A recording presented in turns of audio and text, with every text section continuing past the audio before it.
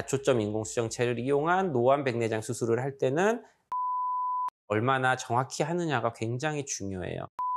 이 만약에 정확성이 떨어지게 된다 그러면 시력의 질도 떨어지게 되고 빛번짐도 더더욱 심해지게 되고요.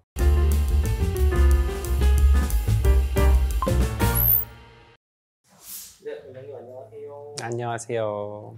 네, 오늘은 백내장 수술에 대한 질문을 좀 드리려고 하는데요.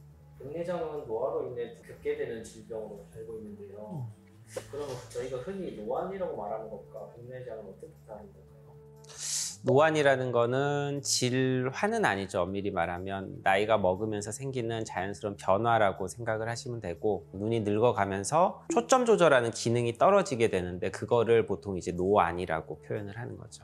시력 좋은 사람들이 가까운 거 이렇게 떨어뜨려 놓고 보는 거를 노안이라고 보시면 되고 백내장이라는 거는 눈 안에 있는 수정체가 혼탁이 되는 질환이죠. 병인 거고요. 그거는 안경을 쓰더라도 잘 안 보이게 되는 그런 증상을 보통은 나타내게 돼요. 나이를 먹으면서 생기는 변화인 거는 동일하지만 백내장은 병인 거고 노안은 그냥 나이가 생기면서 드는 변화라고 보시면 돼요.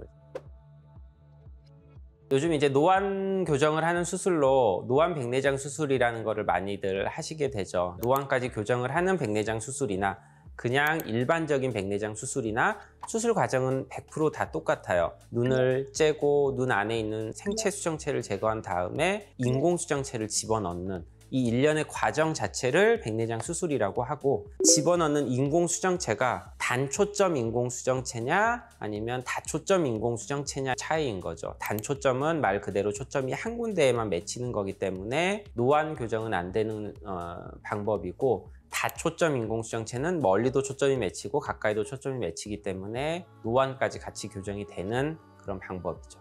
그래서 백내장 수술인지 이게 노안을 교정을 한 건지 환자분들이 수술을 받으시고도 잘 모르시는 분들이 계세요. 네, 원장님 그러면 난시 교정 수정체는 어떤 건가요? 난시 교정은 이제 또 다른 얘기예요. 난시라는 거는 초점이 정확히 딱 한 군데 포인트에 맺히지 않는 거를 난시라고 생각하시면 돼요. 돋보기를 이렇게 들고 햇빛에 이렇게 갖다 대면 한 군데로 빛이 모이잖아요. 돋보기는 모양을 잘 보시면 어느 방향을 보나 다 곡률이 같아요. 그러니까 빛이 들어와서 정확히 한 군데 초점이 맺히게 되는데 곡률이 일정치가 않고 만약에 럭비공 같이 한쪽이 조금 더 곡률이 가파르고 한쪽이 완만하다라고 친다 면 불빛이 정확히 한 군데 맺히지 않겠죠. 그런 거를 난시라고 생각을 하시면 되는데 난시를 일으킬 수 있는 게 크게 두 가지가 있어요. 우선 첫 번째가 안구의 가장 표면에 있는 각막 난시. 두 번째는 수정체 난시가 있어요. 백내장 수술을 하게 되면 수정체는 수술로 제거가 되기 때문에 결국 눈에 남는 거는 각막 난시만 남게 돼요. 그냥 단순히 눈의 전체 난시가 수술 전에 있다 그래서 난시 교정하는 수술 방법을 해야 되는구나 라고 생각을 하시는 분들도 계실 수가 있는데 평가를 해보니 각막에는 난시가 전혀 없고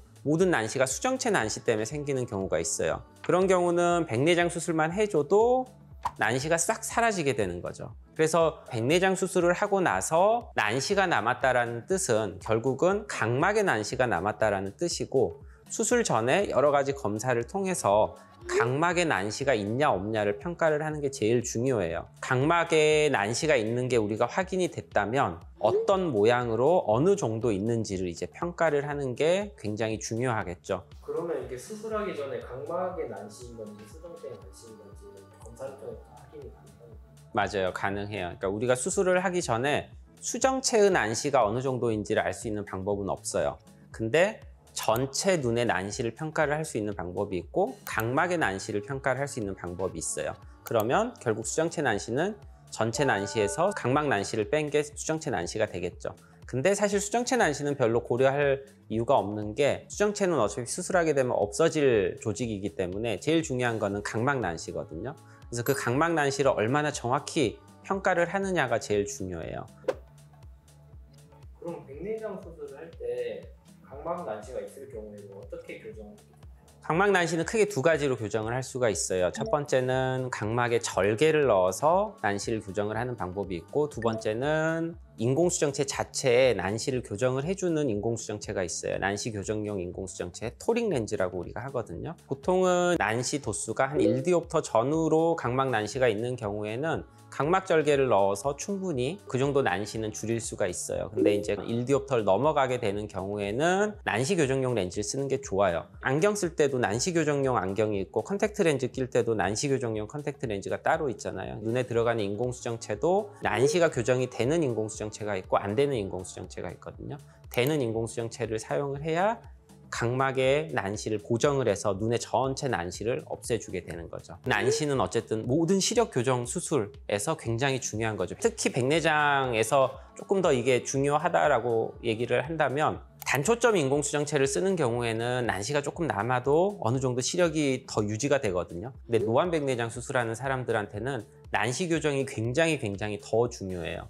왜냐하면 노안백내장은 원래 시력의 질이 단초점 인공수정체에 비해서는 조금 떨어지거든요.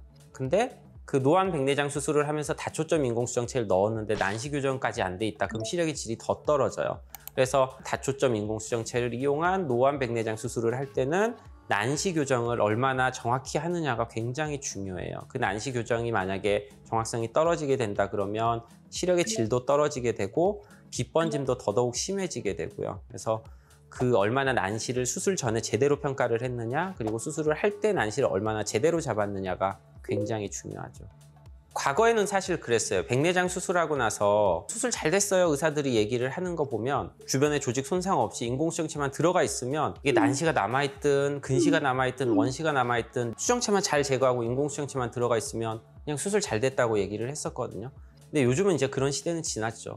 사람들의 눈 모양에 맞춰서 조금 더 맞춤식으로 절개를 넣는 각도라든지 이런 걸 조금 더 신경을 써서 수술을 해야 시력적으로 더 만족도가 나올 수가 있는 거죠. 이제 수술을 다 했는데 난시가 남은 사람은 어떡할 것이냐? 그런 분들도 이제 난시를 줄일 수 있는 방법들이 있거든요. 추후에 각막에 절개를 넣는다든지 추가적으로 인공수정체를 더 집어넣어서 난시만 잡아준다든지 하는 그런 추가적인 방법들도 있기 때문에 한번 검사를 받아보시고 치료 계획을 세워보시는 게 좋겠습니다. 그래서 이제 백내장 수술이 과거에는 단순히 수정체 제거하고 인공수정체만 집어넣으면 수술 잘 됐다라고 했지만 이제는 이제 그런 시대는 갔다고 저는 보거든요. 수술을 하고 나서 얼마나 원시나 근시나 난시나 이런 굴절 이상을 안 남기고 수술을 하느냐. 그리고 눈에 다른 추가적인 손상을 주지 않고 수술을 하느냐가 굉장히 중요한 시대가 왔기 때문에 환자분들도 이제 수술 방법을 선택을 하실 때 굴절 이상을 잘 잡을 수 있는 방향으로 수술을 받으시면 좋겠고 특히 이 난시라는 거는 시력에 굉장한 영향을 줄 수 있는 그런 요인이기 때문에 수술 전에 좀 정확히 판단을 해보고 난시가 어느 정도 있는 분이라면 난시 교정을 하는 인공수정체를 쓰시는 게 좀 더 좋은 시력을 확보를 할 수 있는 방법이라서 그런 방법으로 수술을 좀 고려를 해보시는 게 좋지 않을까 싶습니다.